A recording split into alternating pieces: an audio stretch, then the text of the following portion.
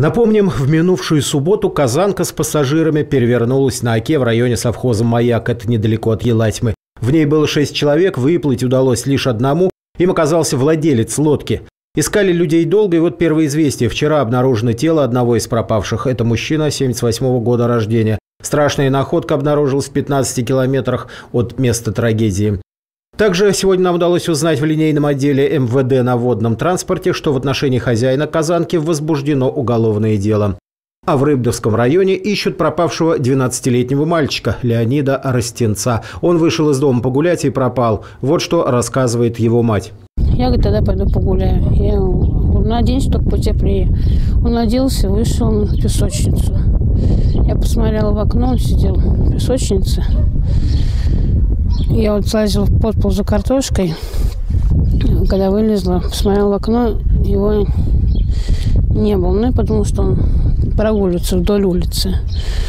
Вот. Через потом я поставила варить картофель. Вышла на улицу. На улице никого не было. Я его окликнула. Никто не отозвался.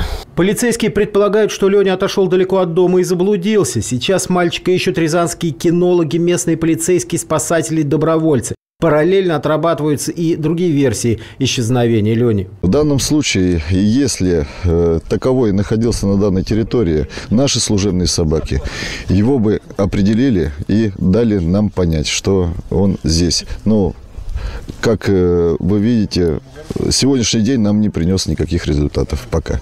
Ежедневно поисковые отряды прочесывают местность по секторам, исследуют заброшенные и разрушенные строения, овраги, кустарники, лесопосадки. Обращаюсь ко всем жителям города Рязани, Рязанской области. Приметы э, мальчика на э, вид 11-12 лет. Был одет зеленая куртка, темное трико, резиновые сапоги и шапочка темного цвета.